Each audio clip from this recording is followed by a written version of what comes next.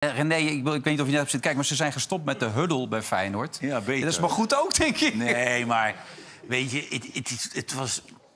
Je- weet je, kom op man. Hey, weet je, nu ging die Priske weer zeggen dat het publiek zo over de streep... Maar als je nou gewoon niet kan winnen van Willem II, Groningen en Sparta... Ja. wat heb je dan te zoeken tegen de kampioen van Bij Duitsland? rust 4-0 achter. Ja, maar kom op, weet je. En dat is ook voor onze vriend Iatarin. Ja. Weet je wat, die wil nu terugkomen. Ja. Nou, ik raad Over een hem- half jaar Oranje. Ik raad hem aan. Kijk nou even naar die eerste helft van Wiertz. Hmm. En dat moet je dus dadelijk gaan doen. Ja. Dan kan hij zich nog bedenken.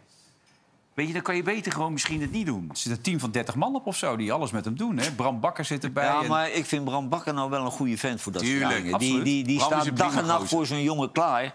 En het is echt zijn allerlaatste kans. Want het is of RKC of in de goot, hè? Ja.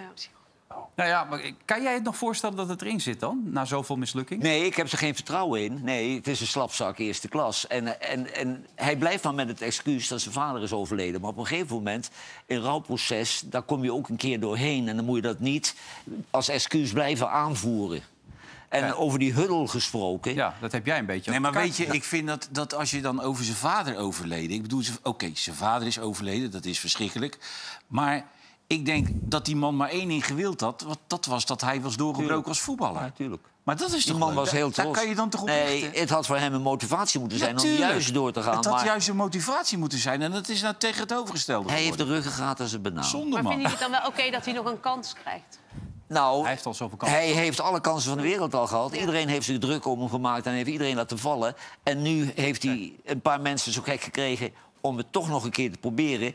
En ik gun het die jongen van harte. Ja. En ik hoop dat het lukt, want iedereen steekt er heel veel tijd in.